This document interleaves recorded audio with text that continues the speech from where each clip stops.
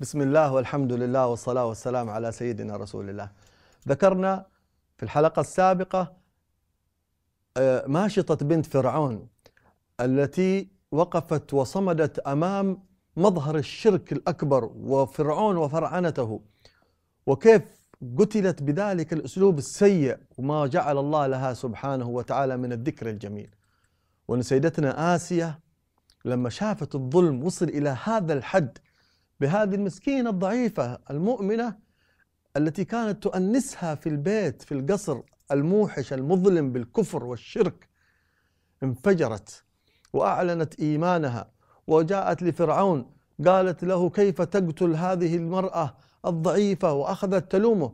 قال لعل بك شيء من الجنون الذي الذي بها. قالت بل, بل هو إيمان بالله وأنا أؤمن بأن ربي وربها وربك الله رب العالمين. كانت هذه الكلمة قوية من سيدتنا آسيا. هنا يبغى الواحد يوقف. يا جماعة المؤمنات كلهم إحنا قلنا إن حناخذ من درس هؤلاء النساء الكمل معاني تتناسب مع حياتنا. سيدتنا آسيا غنية. عايشة في قصر يعني الآن اللي يشوف المتاحف في مصر يعرف إنه كانت قصور الفراعنة هذه شيء خيالي خرافي. الذهب مش بالسلاسل الذهب بالكيلو بالحجر حجرة من ذهب. التماثيل من ذهب. يقولوا في بعض التراجم إنه غرفة النوم حقها تقريبا 40 متر في 40 متر. وعندها من الخدم بالمئات وربما بالآلاف. خادمات وخدم وعطور وثياب. والناس تسجد لها في كل مكان. أبها رهيبة.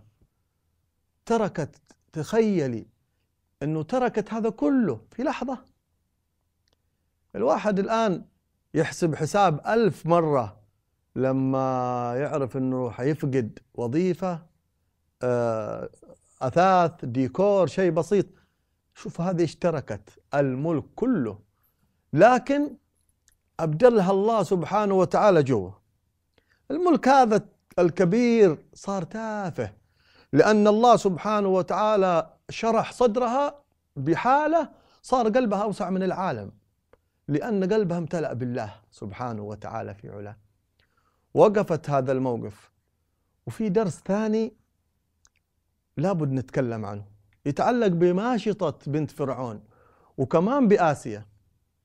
هذا الدرس مرة مهم جدا. أحيانا الإنسان يقول أنا ما قادر آه، أعبد الله بصدق. يا أخي هذول الأولياء الصالحين السابقين اللي تقولوا عليهم هذول عايشين ما شاء الله مساجد وبيوتهم كلها نور واهلهم طيبين وبيوتهم فيها عبادة ما عندهم تلفزيون ما عندهم انترنت ما عندهم مناظر قذرة ما عندهم آه، غزو فكري كانوا مرتاحين. لا لا لا. آسيا امرأة فرعون أي واحدة منكم يا نساء الآن اللي في الدنيا في العالم كلها يسمعنا. حاسة أنه أنت تبغي تعملي الصالحات لكن والله الظروف صعبة. البيت ما يساعد. زوجك ما يعينك على طاعة الله. يا أخي زوجي هذا بس يبغى يتمشى بس يبغاني ما أدري إيه. ماني قادر أطيع الله. مهما كان مهما كان ما راح يكون مثل فرعون. ولا بيتك سيكون مثل بيت فرعون. يا جماعة هذا بيت يعبد فيه فرعون من غير الله. بيت فيه الفجور فيه الخمر فيه الظلم فيه كل البلايا. من وسط البيت هذا طلعت واحدة خادمة ماشطة بنت فرعون من أولياء الله الكبار. من وسط البيت هذا طلعت واحدة من سيدات العالم من سيدات نساء أهل الجنة. قلنا إحنا دائما القمة. عشان أي واحدة من النساء في العالم تقول ظروفي ما ساعدتني على طاعة الله نقول لها تعالي يا أم الظروف. شوفي اللي ظروفها صعبة لما آمنت بربها سبحانه وتعالى كيف انطلقت إلى الدرجات العالية رضي الله عنها وأرضاها. أعلنت آسيا الإيمان قدام فرعون جن جنون فرعون. خلاص دخل الأمر إلى وسط وسط قصره إلى زوجته. فين الفرعنة فين القوة ما يقدر يتحكم في القلوب رب ما يقدر يتحكم في القلوب هو يدعي إنه رب إيش هذا قال لهم خذوها واربطوها في الصحراء في الشمس احرموها من الطعام ومن الماء. فصارت سيدة القصر مرمية في صحراء مصر. رميت وربطت لا أكل لا ماء. الله المساكين الفقراء من المؤمنين يرون حتى سيدة القصر لما دخلت الإيمان صارت مثلهم. هي سيدتنا آسيا هذه عجيبة. تأثرت بالماشطة هي خادمة وهذه سيدة لكن كانت تراها أختها في الله. لهذا غارت لأجلها وتأثرت لأجلها كثير. وأخذ فرعون ينزل بسيدتنا آسيا صنوف العذاب والنكال والويل. وهنا نجد أن سيدتنا آسيا رضي الله عنها وأرضاها صبرت صبر غريب وعجيب جدا وتحملت وثبتت وجاءوا بها بعد ذلك إلى فرعون. قال لها ترجعي قالت له لا أرجع أبدا ولا أترك ديني الذي عليه أبدا. وهنا أريد أن أذكر كذلك الدرس الرابع في نفس هذه القصة أنه يا جماعة لا نسيء الظن لا نسيء الظن بأحد.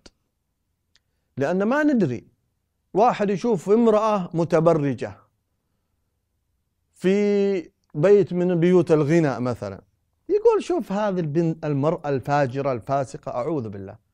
لا تحكم على الناس لأنه ربما كان يكتم الإيمان في قلبه. حصلت معي أنا قصة. كنت في جامعة من الجامعات ألقي محاضرة. بعد أن خرجت من المحاضرة جاءت شابة متبرجة وأعطتني ورقة خلسة وذهبت. وضعت الورقة في جيبي ومشيت. وسبحان الله غفلت. في المساء افتكرت طلعت الورقة. إذا كاتبة لي هذه البنت أنا اسمي فلانة وأنا بنت مؤمن مسلمة في وسط بيت كلهم غير مسلمين.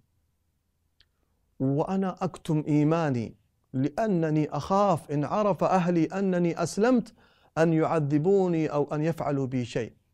وأرسلت لي رقم هاتفها إنه أريد حل أريد كيف أتعلم بعض أمور ديني؟ وأنا اعبد الله سبحانه وتعالى في الخفاء أقفل على نفسي أحاول أصلي وحدي ألبس قميص صلاتي وحدي بحيث ما أحد يشعر لها ثلاث سنين على هذا الحال.